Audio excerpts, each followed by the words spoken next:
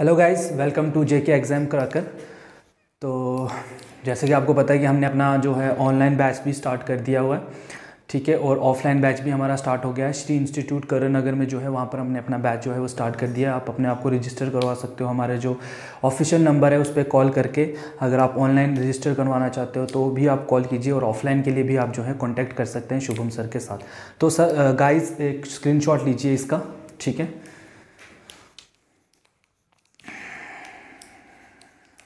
Okay I hope कि आपने screenshot जो है ले लिया है। तो सो so गाइज़ आज का जो हमारा टॉपिक है that is social and cultural uprisings ठीक है?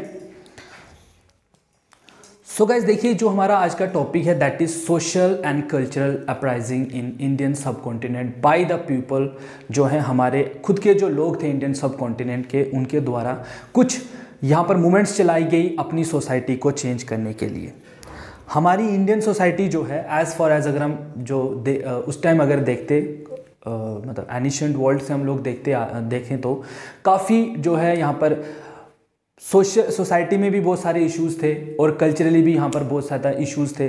ठीक है उस टाइम ये ये इशू जो है वो इशू नहीं माने जाते थे लेकिन आज के टाइम पर वो एक बहुत बड़े इशू का कारण भी बन सकते हैं। लाइक जैसे आज हम अनटचेबिलिटी की बात नहीं करते हैं आज हम सती प्रथा की बात नहीं करते हैं। सो मेनी ईवल थिंग्स जो हमने अपनी सोसाइटी से इरिडिकेट कर दी है ठीक है? सो so, कुछ लोग ऐसे भी थे हमारी इंडियन सोसाइटी में जिन्होंने कि इन चीज़ों के बारे में सबसे पहले बात करी। तो आज की जो हमारी क्लास है स्पेशली उसी के बारे में है कि हम लोग पढ़ेंगे कि कौन कौन से ऐसे मूवमेंट्स हमारे इंडियन सोसाइटी में हमारे थिंकर्स के द्वारा जो है वो चलाई गई थी सिर्फ़ हमारे लोगों की मैंटेलिटी और उनकी सोच को बदलने के लिए ठीक है? उसी के बारे में हम आज पढ़ेंगे। सो so, स्टार्ट करते हैं आपका पहला जो टॉपिक uh, है दैट इज़ जो पहला कंसेप्ट मैं आपको बताने जा रहा हूँ दैट इज़ ब्रह्मो समाज।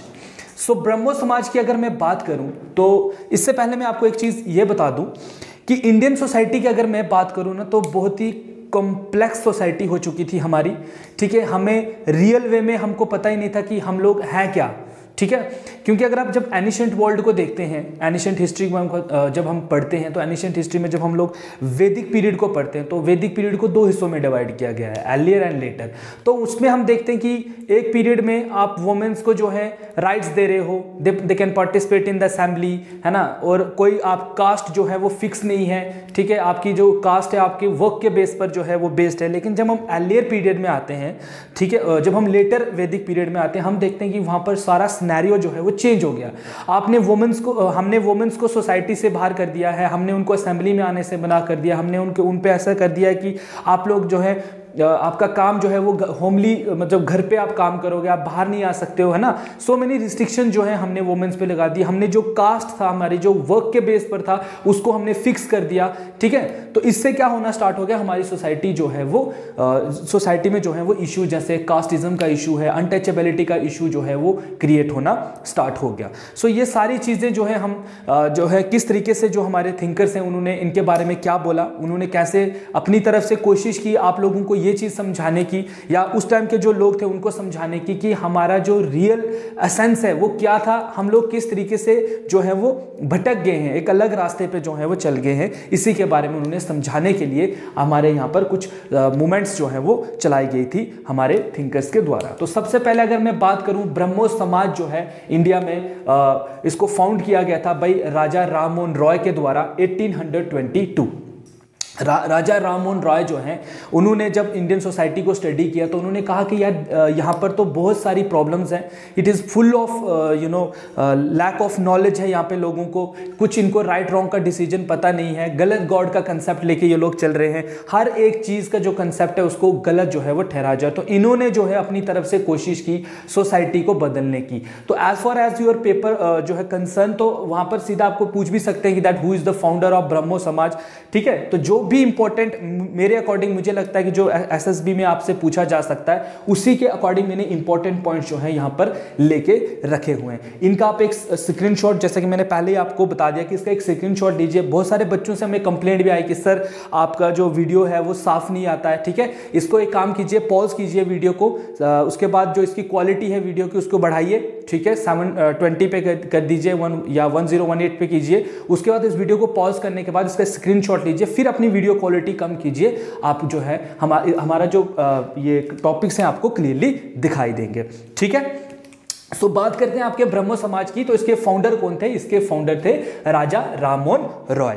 राजा राममोहन रॉय जो थे इन्होंने जो है ब्रह्मो समाज जो है फाउंड किया 1828 में। ठीक है? गाइस डेट याद रख लीजिए और थिंकर याद रख लीजिए, समाज के कौन थे, किसने बनाया। इससे पहले अगर मैं बात करूँ तो इन्होंने एक अहतम सभा भी जो है, वो फाउंड किया था। ठीक है?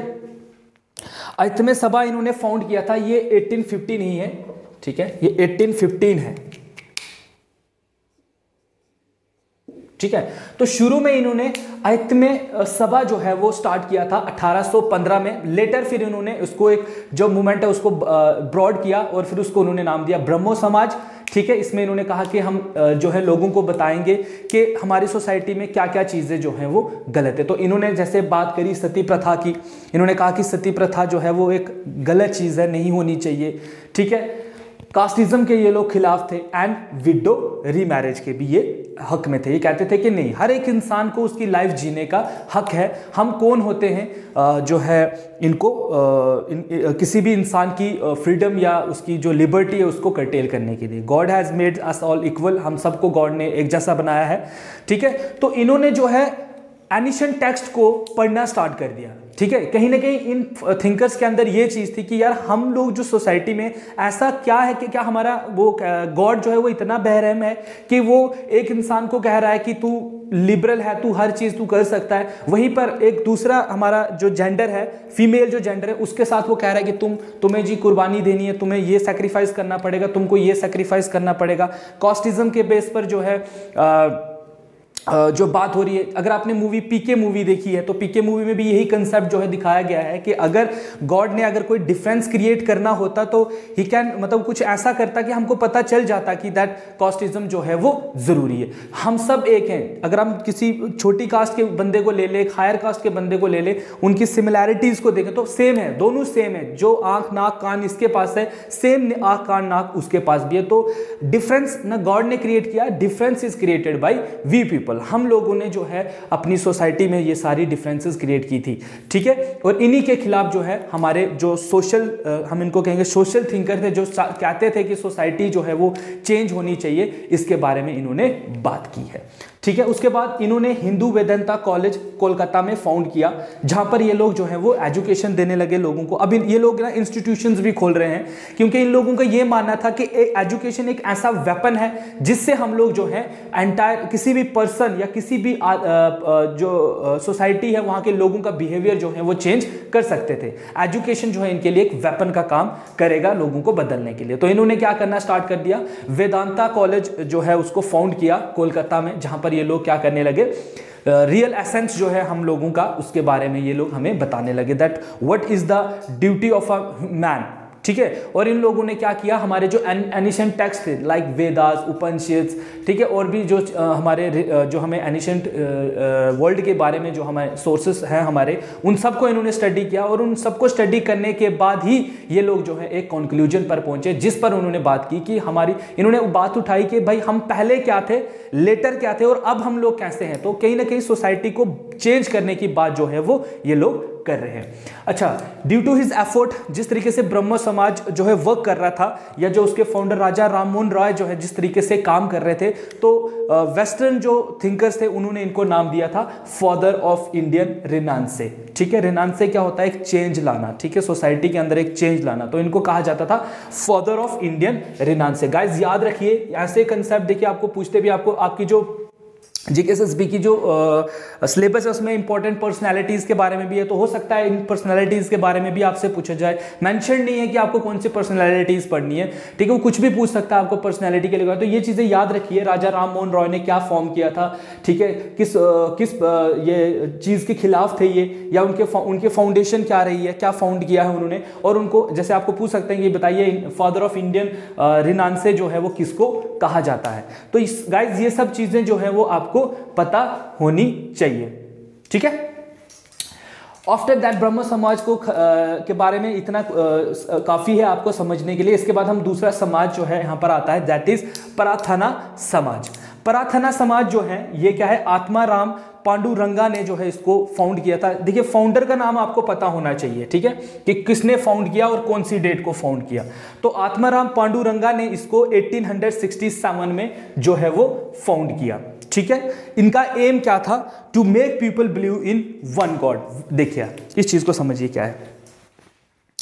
अगर हम एनिशेंट वर्ल्ड को जब पढ़ते हैं, ठीक है? अगर आप हड़प्पा सिविलाइजेशन के बारे में पढ़ो तो there is only we don't have any concept of God over there हम लोग क्या देखते हैं कि वो जो लोग थे, वो लोग सुपर नेचुरल पावर में बिलीव करते थे, ठीक है? उनके पास, जैसे हम लोगों के पास आज एक आइडल फॉर्म है गॉड की उनके पास नहीं था। हाँ एक पशुपति जो है वहाँ पर गॉड मिला है, एक सील के ऊपर, जिसमें क्या है, एक बंदा जो है वो साधु के भेष में बैठा हुआ है और उसके आजू बाजू में जो है कुछ जानवर हैं deer is there and elephant is there and so many other things जो है उस पर मैंशन है। वो सील पर मैंशन है। सिर्फ़ हमें वो कंसेप्ट मिला है।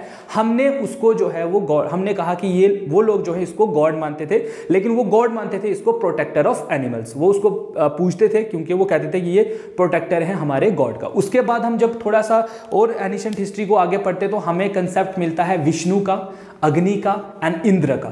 Rudra is there so limited god थे हमारे, ठीक है? लेकिन धीरे धीरे धीरे धीरे हमारे यहाँ पर क्या स्टार्ट होना, हो गया? मल्टीसिपिलिटी ऑफ़ गॉड जो है वो होना स्टार्ट हो गया। मल्टीपल गॉड्स का जन्म होना स्टार्ट हो गया। विष्णुइज्म आ गया जो है शिविज्म आ गया। अलग अलग जगहों पे लोग अलग अलग डिटी को पूज रहे और इससे क्या हो गया? सोसाइटी में बहुत ज़्यादा कंसेप्ट ऑफ़ गॉड्स जो है वो आ गए, ठीक है? लोग अब ये जो लोग थे, ये कहने लगे, यार, कोई कोई कहता है सेक्रीफाइस करो, कोई कहता है सेक्रीफाइस नहीं करो, कोई कुछ कह रहा है, कोई कुछ कह रहा है, कोई अलग फॉर्म ऑफ़ गॉड को डिफाइन कर रहा है, कोई अलग से गॉड को डिफाइन कर रहा है तो ये लोग कहने लगे, यार रियल में गॉड है क्या चीज़? रियलिटी में गॉड क्या है? तो इन लोगों ने जब एनिशेंट वर्ल्ड को, जो हमारे वेदास हैं, उनको इन्होंने स्टडी किया तो वेदास को स्टडी करने के बाद इन्होंने बोला देर इज़ वन गॉड ठीक है? गॉड है, जिसका ये तक नहीं पता है कि वो, उसका जेंडर तक नहीं पता है, उसकी फॉर्म तक हमको पता नहीं है, ठीक है? कि वो कैसा है? How does it look like वो फीमेल है मेल है, या कैसा है? किसी को कुछ पता नहीं है सिर्फ़ उसका एक क्या है एक आ, मतलब हम सिर्फ़ उसको फील कर सकते हैं एक एनर्जी काइंड ऑफ़ है वो ठीक है उस एनर्जी को हम जो है वो फील कर सकते हैं। तो इन्होंने कहा बिलीव किया कि लोगों को कि हम एक गॉड में बिलीव करें कि देर इज़ वन गॉड ठीक है और हम सब जो है उसी को जो है वो उसी के साथ जो है वो जुड़े रहे ठीक है? सो मेन प्रथिना समाज जो है इसका मेन आप याद रखिए कि इसके फाउंडर कौन थे एंड उनका एम क्या था to make people in believe in one god उसके बाद आता है आपका आर्य समाज। एक और समाज एक और सोसाइटी हमारे फॉर्म हो रही है जिसमें बात की जा रही है। ओके okay, आर्य समाज जो है ये 1875 को जो है वो फाउंड हुआ ठीक है? और इसको इसके फाउंडर कौन थे? स्वामी दयानंद ठीक है स्वामी दयानंद ने जो है इसको फाउंड किया जिनका पहला नाम अब ऐसे भी पूछते हैं कि बताइए स्वामी दयानंद का पह, पहला नाम क्या था? उनको कि पहले किस नाम से जाना जाता था? तो उनका पहला नाम था मूल शंकर ठीक है? मूल शंकर के नाम से इनको पहले जाना जाता था ठीक है? और इनका, इन्होंने मोटो दिया था एक, वो मोटो क्या था? Go back to Vedas and India for Indians ये दो कंसेप्ट उन्होंने दिए थे कि गो फॉर वेदास आप वेदास पे जाइए, उनको स्टडी कीजिए, क्योंकि इनका मानना था कि हमारे जो हिंदुइज्म है, इसका पूरा का पूरा वो चिट्ठा जो है हमें वेदास से ही मिलेगा। वेदास को आप पढ़ोगे, आपको सब कुछ जो है वो पता चल जाएगा कि क्या है, कि हम लोग क्या है is there is any kind of casteism है, रखना है या नहीं रखना है? हाउ गॉड क्रिएटस या what is the meaning of god ये सब चीज़ें हम जो हैं, वो सोसाइटी सोसाइटी की जो है हमें वेदास से मिलेंगी। या सोसाइटी में जितनी भी इवल्स प्रैक्टिसेस फॉलो की जा रही थी तो क्या ऐसा करना चाहिए या नहीं करना चाहिए? ये सब का सब जो है, वो हमें वेदास से मिलेगा। कहने का मतलब ये कि हिंदुइज्म की शुरुआत जो है, वो उन्हीं वेदास से होती है। तो इन्होंने कहा कि आप पढ़िए, खुद से पढ़िए। खुद से जानने की कोशिश कीजिए कि वेदास जो है, वो क्या कह रहे हैं। ठीक है, तब जाकर जो है आपको जो है पता चलेगा। ठीक है, लेकिन अब हम लोग हैं तो हम लोग क्या है, हम रिलीजियस जो जो हमें हमें टीचर जो टीचिंग करवा रहे हैं तो हम उसी को फॉलो कर रहे हैं। तो ऐसा क्यों? जब वी हैव सोर्स के हम लोग पता कर सकते हैं कि एसेंस क्या है हमारा रियल में तो हम क्यों उन टीचर्स का सुने? हमें तो खुद वेदास को पढ़ना चाहिए, यही मानना था जो है आर्य समाज का। ठीक है? आर्य समाज ने जो स्वामी विवेकानंद थे, इन्होंने बुक्स भी लिखी हुई हैं। वेरी इंपॉर्टेंट आपको पेपर में भी पूछा गया इंपॉर्टेंट पर्सनैलिटीज बुक्स के बारे में पूछा गया तो पता होना चाहिए आपको, इसीलिए मैंने इनको मेंशन किया हुआ है। तो स्वामी विवेकानंद के द्वारा दो जो है बुक्स लिखी गई थी। पहली बुक का नाम था वेद्या भाष्या भूमिका, ठीक है? आई होप कि आपने जब स्क्रीन शॉट लिया होगा, इसमें वो साफ़ दिख रहा है। नहीं दिख रहा है तो कमेंट सेक्शन में मुझे बता दीजिएगा। मैं कोशिश करूँगा आपको यहाँ इनको बताने की, ठीक है? एंड पहली बुक जो थी इनकी that is Veda Bhashya Bhumika.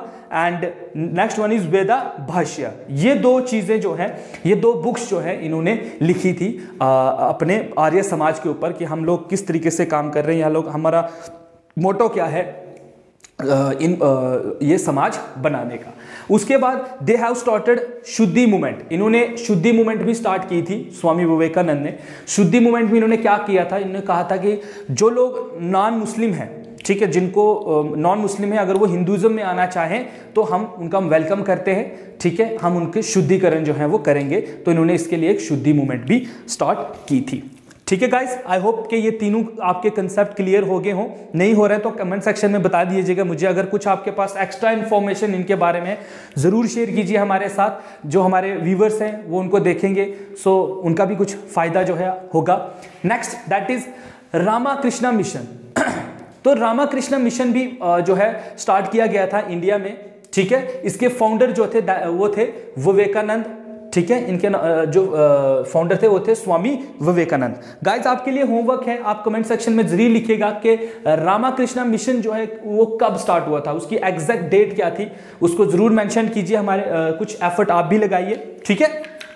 Okay so so, इसके फाउंडर कौन थे? स्वामी विवेकानंद जिनको कि हम पहले उनका एलियर नाम क्या था? नरेंद्र नाथ गुप्ता। ठीक है? नरेंद्र नाथ गुप्ता उनका पहला नाम था। बाद में उनको जो है जब उन्होंने इनकी जो काफ़ी उनको थोड़ी देर के बाद जो है फिर वो स्वामी विवेकानंद के नाम से जो है वो जाना जाने लगा। इनके गुरु की अगर मैं बात करूँ तो ही was influenced by his guru whose नाम इज़ श्री रामाकृष्णा परमाहंस ठीक है? रॉबिनहुड भी इनको कहा जाता है। इंडियन रॉबिनहुड भी इनको कहा जाता है। ठीक है? श्री रामाकृष्णा को जो, परमाहंस को जो है वो इंडियन रॉबिन हुड भी कहा जाता है।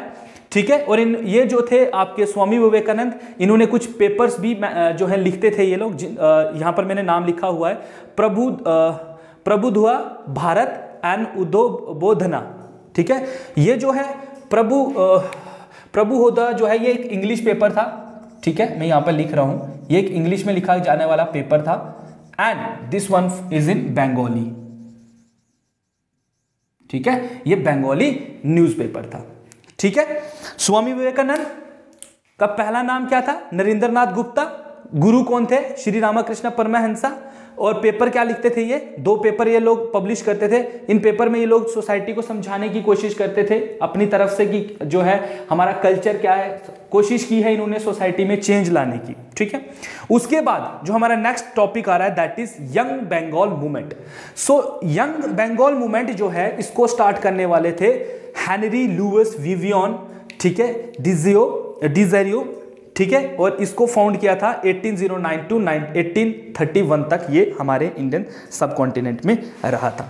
अब देखिए इंडियन थिंकर सोसाइटी में इंडिया के लोगों को चेंज करने की बात कर रहे हैं। वहीं पर जो ब्रिटिशर्स थे, जो वेस्टर्न थे, उनको उनको भी जो है वो काफ़ी ये चीज़ प्रभावित लगी, बहुत अच्छी लगी और उन्होंने भी जो है अपनी तरफ़ से कोशिश की कि हम लोग भी जो है इंडियंस के लोगों को जो है वो समझाने की कोशिश करेंगे कि मतलब सोसाइटी में जो चीज़ें गलत है हम उनको लोगों को समझाने की बात करेंगे। अब वेस्टर्न हमसे काफ़ी एडवांस थे। दे नो द जैसे उनको पता होता था राइट्स क्या है लिबर्टीज़ क्या है इक्वालिटी क्या है फ्रीडम क्या है कॉन्स्टिट्यूशन क्या है। They they know very well about this concept ठीक है ना? क्योंकि वहाँ, जो हमारे इंडिया में जो वहाँ पर हुआ है, वो इंडिया में बहुत बाद में हुआ। जैसे हम लोग बात करते हैं फ्रेंच रेवोल्यूशन जो 1789 में जो फ्रेंच में हुआ था, जो इक्वालिटी फ्रेटर्निटी और आपके कंसेप्ट वहाँ से निकल के आए हैं तो इंडिया ने ऐसे सब कंसेप्ट जो है बहुत लेटर ऑन इनको समझा है। ठीक है, जब इंडियंस एजू जो वेस्टर्न जब इंडियंस ने वेस्टर्न एजुकेशन लेना स्टार्ट कर दिया वेस्टर्न एजुकेशन को लेने के बाद ही उन्होंने इन कंसेप्ट को समझा दैट राइट्स क्या होते हैं लिबर्टी क्या होती है फर्टर्निटी क्या होती है कॉन्स्टिट्यूशन क्या होता है। फिर जब उन चीज़ों को समझने के बाद उन्होंने इंडिया में डिमांड जो है वो स्टार्ट कर दी थी कि हमें भी ये सब चीज़ें जो हैं वो चाहिए ब्रिटिशर्स क्यों हमें ये सब चीज़ें जो हैं वो नहीं दे रहे तो वो एक बहुत इंपॉर्टेंट चीज़ है कि वेस्टर्न एजुकेशन ने कहीं ना कहीं हमारी सोसाइटी को भी बदलने की बात की थी। तो वो लोग भी एफर्ट लगा रहे थे इंडियन सोसाइटी को चेंज करने के लिए। सो so, ये जो यंग बंगाल मूवमेंट थी ठीक है इसको स्टार्ट किया था हेनरी लुइस ने uh, 1808 से लेकर 1831 तक ही रही थी। बाद में ये जो मूवमेंट थी ये uh, जो है बंद हो गई क्योंकि ये काफ़ी रेशियल थी ठीक है इसमें सिलेक्शन सिर्फ़ रेस के बेस पे होती थी ठीक है तो इस मूवमेंट को जो है बाद में बंद कर दिया गया था ठीक है। और he also edited the paper वो पेपर भी एडिट करते थे, जिसमें हैस्परस पेपर आता था एंड कोलकाता लिटरेरी गैजेट जो पेपर हैं, ये लोग लिखते थे, ठीक है, लोगों को पेपर लिखते थे, ताकि सोसाइटी में जो है वो लोग उनको पढ़े। पढ़ने के बाद जो है, जितने भी जो सिस्टम है उसको बदलने की कोशिश जो है वो ये लोग कहीं ना कहीं कर रहे थे। After that we have Ved Samaj ठीक है? वेदा समाज एक और हमारे यहाँ पर एक मूवमेंट चलाई जाती है। उसको हम लोग ब्रह्मो समाज ऑफ़ साउथ भी कहते हैं। ठीक है, ये मूवमेंट जो है, ये साउथ में स्टार्ट की गई थी। And this is this Veda Samaj is copy of Brahmo Samaj. ठीक है, इसको साउथ में स्टार्ट किया गया था बाई श्री दरुला नायडू ने इसको स्टार्ट किया था। इन्होंने, इसने क्या किया था? इसने सिर्फ़ जो ब्राह्मण ब्रह्म समाज के जो आइडियाज़ थे, उनको इसने तमिल और तेलुगु में कन्वर्ट करके जो है वो लोगों तक पहुँचाया था। इसने बताया कि सोसाइटी में जो इवल्स चीज़ें हैं, जैसे मैंने अभी बताया कि ब्रह्म समाज जिस कंसेप्ट को लेकर चल रहे थे सेम इसने लोगों को अपनी लोकल लैंग्वेज में जो है वो समझाने की कोशिश की, क्योंकि वहाँ के लोकल लोग जो है वो हिंदी, इंग्लिश तो उतना नहीं पढ़ेंगे, वो अपनी जो, अपनी उनकी लोकल लैंग्वेज है, उसी को पढ़ेंगे। तो इसने सिंपल वही काम किया, इसने अपने ही लैंग्वेज में जो है लोगों तक जो है ये कंसेप्ट पहुँचाने की कोशिश की दैट किस तरीके से ब्रह्म समाज जो है वो वर्क कर रहा है। ठीक है? सो गाइज़ आई होप ये तीन चीज़ें भी आपकी क्लियर हो गई। रामाकृष्णा मिशन क्या था? यंग बंगाल मूवमेंट क्या था? एंड वेद समाज जो है वो क्या था? ठीक है? Okay next next is theosophical society जो है हमारे इंडिया में फाउंड होती है। This society is founded by the westerners westerners जो थे, उन्होंने इसको फाउंड किया था। फ़र्स्ट सबसे पहले इसको जो फाउंडेशन करने वाले थे, उनका नाम था मैडम एच पी बल बला वेटस्काई ठीक है? बेलावर्ट स्काई जो है, इसको फाउंड करने वाली थी। इन्होंने सब 1875 को ये यूएसए में फाउंड किया था। ठीक है, ये जो आपकी थियो थियोसोफिकल सोसाइटी है, इसको सबसे पहले यूएसए में फाउंड किया गया है 1875 को, ठीक है? बेसिकली ये कहाँ पर बनी थी? 1875 को यूएसए में बनाया गया है। लेटर इसको कर्नल एम एस ऑकलेट ने शिफ्टेड किया था। अधियार एक जगह का नाम है तमिलनाडु में, इंडिया में। ठीक है? हो सकता है आपको पेपर में ये चीज़ पूछ लेंगे। बताइए जो थियोसोफिकल सोसाइटी है, उसका जो कंसेप्ट है, उसको इंडिया कौन लेके आया था? या उसकी फाउंडेशन कहाँ पे हुई थी? तो उसकी फाउंडेशन यूएसए में हुई है। फाउंडर इसका अलग है। इस इस आइडिया को इंडिया लाकर जो है फैलाने वाला अलग है। तो इसको याद रखिए। ठीक है? इन दो पर्सन के नाम भी आपको पता होने चाहिए।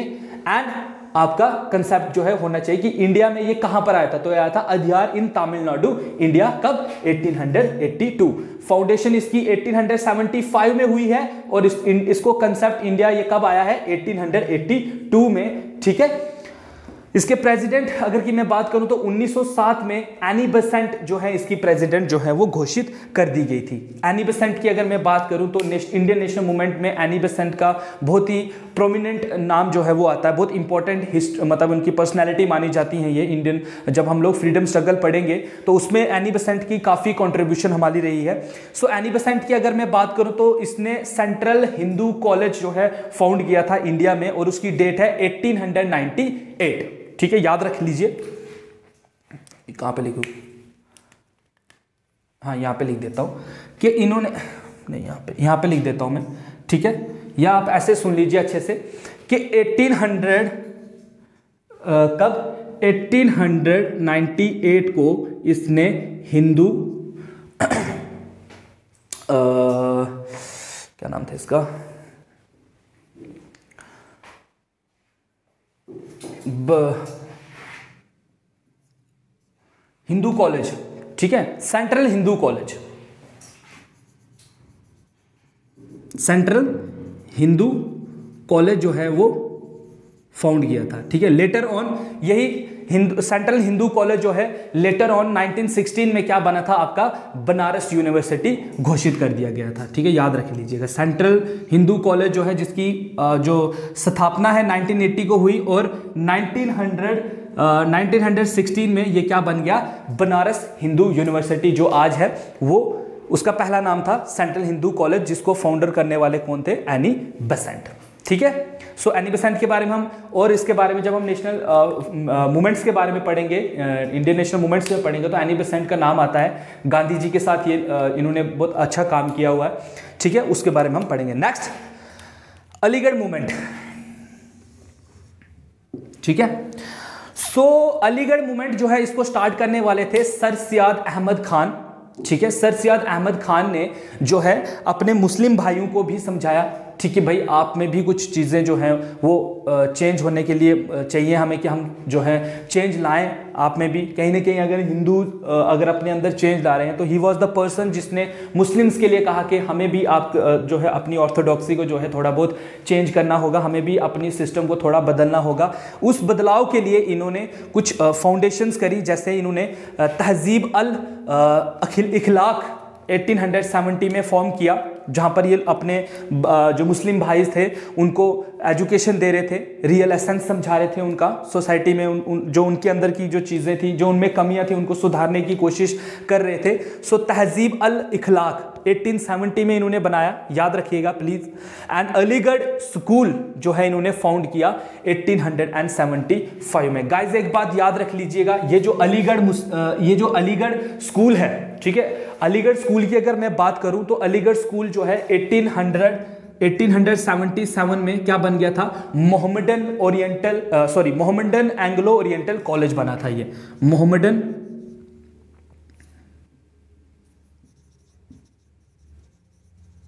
Mohammedan Anglo oriental college बना था ये। ठीक है? मोहम्मदन ओरिएंटल कॉलेज बना था ये 1877 में and later on it becomes Aligarh university Aligarh university so अगर आपसे कोई पूछे कि बताइए अलीगढ़ यूनिवर्सिटी किसने फॉर्म की तो ये फॉर्म की थी सर सैयद अहमद खान ने। एक इनका एक कंसेप्ट चल रहा था। 1875 को अलीगढ़ इन्होंने स्कूल फाउंड किया and later on later on करते करते करते it becomes Mohammedan Anglo oriental college बन गया and later on it becomes आपकी Aligarh university. Okay guys next and the last is Satyashodhak Samaj. Satyashodhak Samaj जो था, इसको, इसके फाउंडर थी ज्योतिराय पुले। ठीक है? और ज्योतिराव पुले ने इसको फाउंड किया था 1873 ज्योतिराव पुले जो है, वो जो फ़र्स्ट लेडी थी, जिसने कि ज्योतिराव पुले जो थे, वो पहले ऐसे पर्सन थे, जिसने की बात की थी लोअर कॉस्ट के बारे में।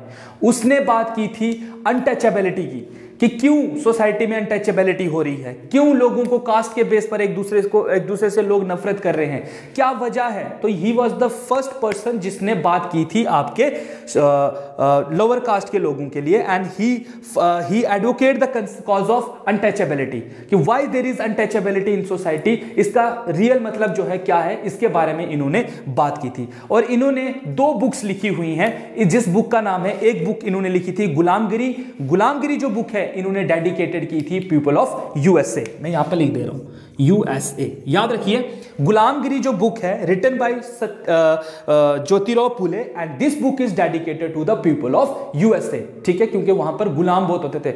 अगर आपने कहीं पढ़ा होगा ब्लैक पीपल और व्हाइट पीपल का कंसेप्ट वो लोग, ये जो तुम आज निग्रो देखते हो यूएसए में they are migrate migrants from the Africa and the adjacent area जो है वहाँ के, उन एरिया से लोगों को खरीद कर जो है गुलाम खरीदे जाते थे और उनको शिफ्ट किया जाता था आपके अमेरिका में क्योंकि ब्रिटिशर्स थे, वहाँ पर ब्रिटिशर उनको एज ए स्लेव ट्रेड होता था और वो लोग उन, वहाँ पर शिफ्ट किए जाते थे।